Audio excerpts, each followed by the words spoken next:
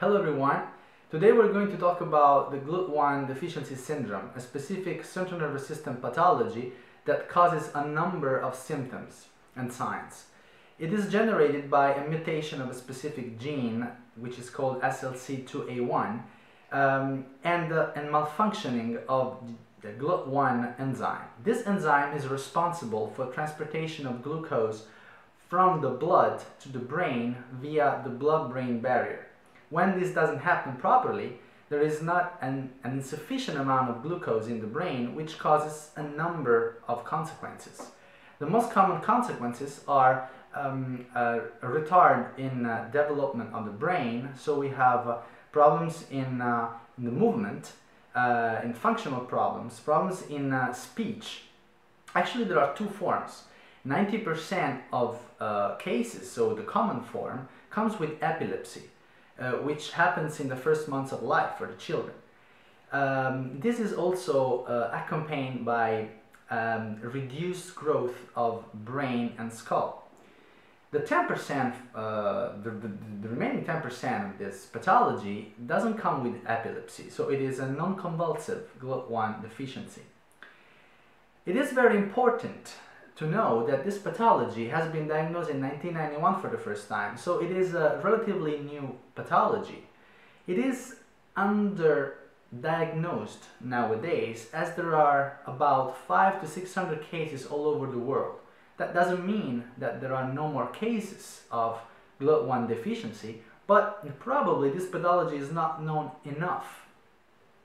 So it is very important to diagnose this pathology in time because according to what we are going to do, the way we're going to treat it, uh, we're going to have a different outcome. So uh, if we treat it in the proper way from the beginning, we actually are able to avoid permanent problems, permanent defects in the brain later on. How do we treat a GLUT1 deficiency case? What is the best treatment? Actually, the best treatment is a metabolic treatment. How do we do that? Well, with the ketogenic diet. A ketogenic diet is a low carbohydrate, high fat, regular protein, high fiber diet. It is actually nowadays the only treatment possible for GLUT1 deficiency patients. And it works simply because we switch the metabolism from glucose metabolism, which is the one that we are used to, to a lipid fat metabolism. And that's the way we bypass the problem. Um, we have to consider that this pathology is still underestimated and underdiagnosed. In fact, it has been only uh, discovered or defined in 1991. Nowadays, only 5 to 600 cases are mm, revealed, are uh, claimed in the world. That doesn't mean that we don't have more cases of GLUT1 deficiency in the world, we just don't know. So it is probably time to get started and know this pathology more also because the pre-diagnosis and the pre-treatment of the first clinical signs is crucial. It's crucial to avoid uh, permanent damages in the brain. Um, what would we have to do at this point? Well, we have to sensibilize research because that is a lot that has to be done in order to uh, discover and develop what we have found so far.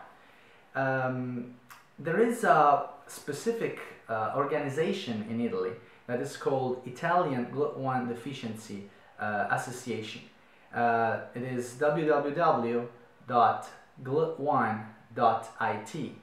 Um, its president, um, Massimiliano Barone, is willing to put together a registry of patients in order to uh, understand what their needs are also, we have to mention the Mondino Clinic in northern Italy, in Pavia. This clinic, uh, directed by uh, Professor Veggiotti, is responsible for treating a large number of GLUT1 patients. Um, and is probably, as now, uh, the most important, the most prominent uh, center that treats uh, patients with GLUT1 and epilepsy with a ketogenic diet in Italy. Also, there is a company, very important company uh, in Italy called Legambari Foods, who's responsible for producing a non-glycidic line of products like pasta, like bread, like chocolate, like Nutella.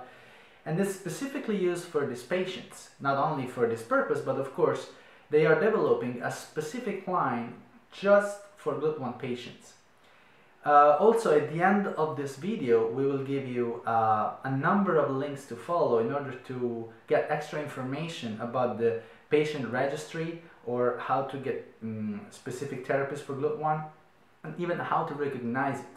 It is very important that neurologists get to know this syndrome best possible because it is now time to identify it as a specific pathology and not as a generic neurodegenerative disease.